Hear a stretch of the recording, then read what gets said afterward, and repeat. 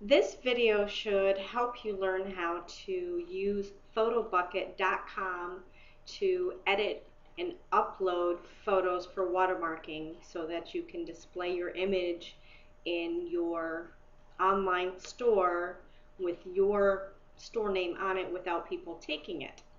Anyway, so if you don't already have a PhotoBucket account, go to www.photobucket.com and create one. Takes maybe three minutes. It is a free program and I absolutely love it.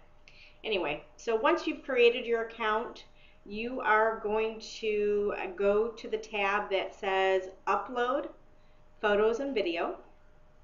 Click on that.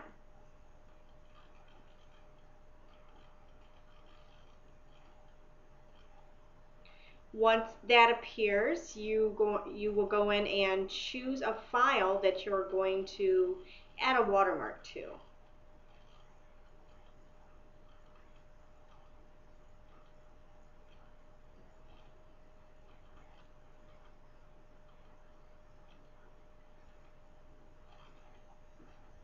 It'll upload the file and it's pretty quick.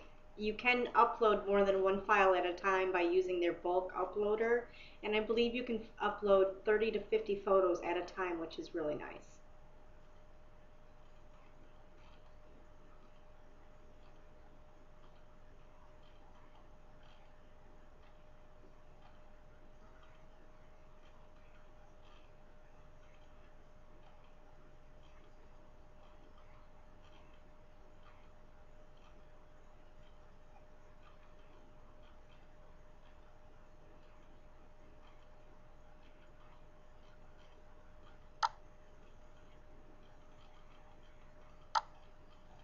Once your photo is up, you're going to go to the bottom left hand corner of the image and click on the link that says edit this image.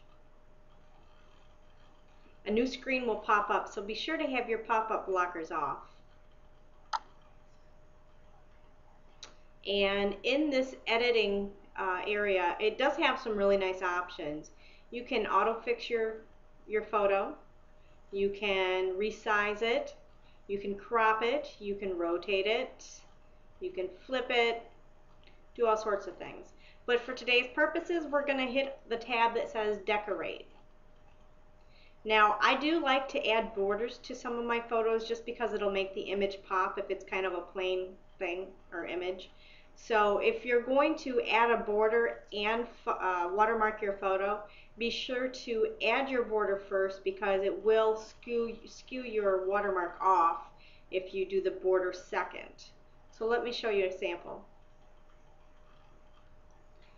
Um, it does give you several options for the watermarking. I typically go with the first one because it'll also allow me to change the color and the size of that um, of the frame.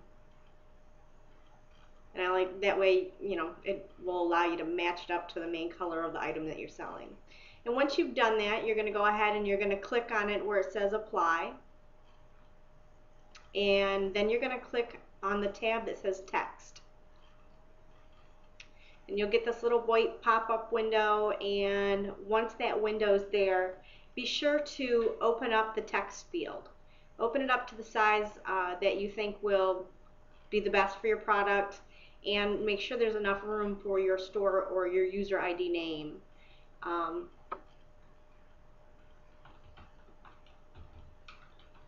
now it also gives you the option to change the font so you can kind of get creative with this make it do several different things um, just depends on my mood what I'm selling on how I'm going to have it appear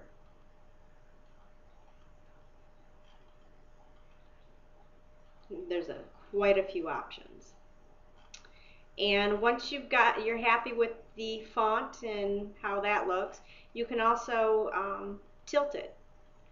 Just in case you've got more than one item on there and you want to make sure that your watermark is big enough to cover everything. After you've done that, you can change the color on the watermark to make sure it doesn't bleed into or blend in, I should say, to the item that you're trying to sell. And once after that's all done, you can hit at the top right hand corner of the text options, you can hit transparent and it'll get rid of that box. Now as you can see, you really can't see the red in there. So I'm going to change that back to maybe maybe a black and I'll change the font to something that stands out a little bit better.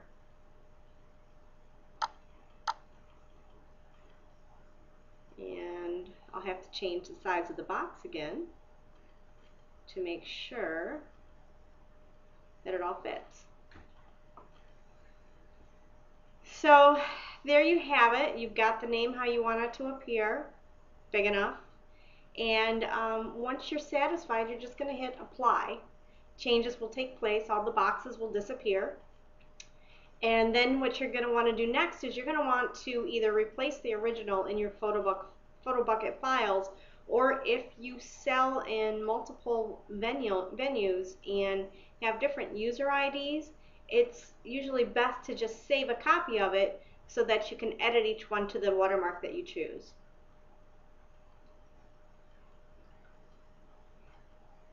Now once you save a copy, it's only saving it to your PhotoBucket files. So you want to be sure to save it back onto your computer. And by doing that, you're going to just go ahead and you're going to right click it, save picture as, give it a name, make sure you put it in the file box that you want it to go into, and that's that. Happy selling!